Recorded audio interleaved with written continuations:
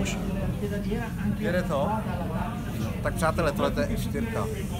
Vlastně první formule, do které jsem si sedl a hned taková velká karbonový šasí. Motor vzadu, Fiat Abarth. Fiat Abarth 1,4 litru, má to 160 koní, je to turbo. No a tady vepředu, podívejte se.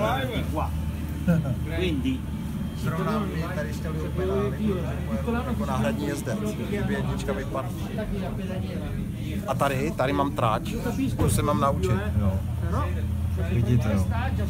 Překrásná prima variante, vari, variante della Roggia, Lesmo 1, Lesmo 2, variante Ascari a Parabolika. A už jsem v cíli zase.